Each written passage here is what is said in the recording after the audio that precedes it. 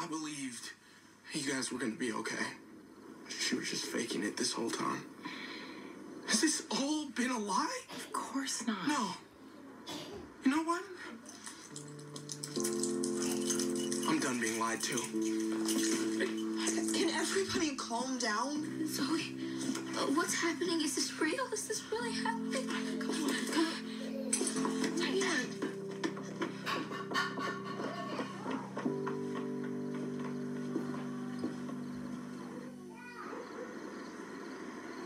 I've already checked the hedges.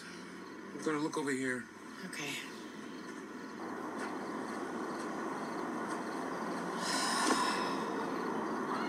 What are we doing? Trying to find this watch. Now, what are we doing? That was not us back there. I don't know who that was. And in front of everybody? I know. We can't keep doing this. It's not fair to the kids. It's not fair to us.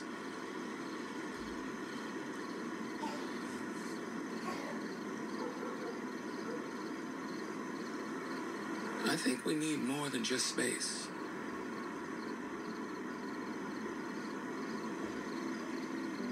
I think so too.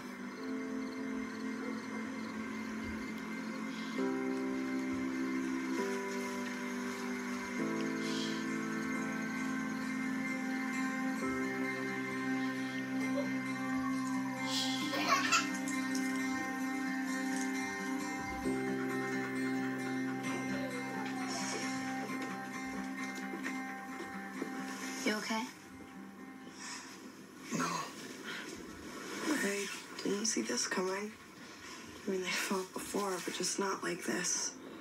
I should have done more to help them. I should have said more in my speech. Uh-uh, don't do that.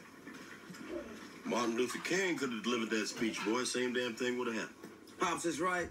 I don't want anyone in here blaming themselves. When me and your grandma split up, it wasn't anybody's fault. It was your fault. No, I mean, that's how you felt then, but you've had time to think about it now. it was your fault. We saying the same thing.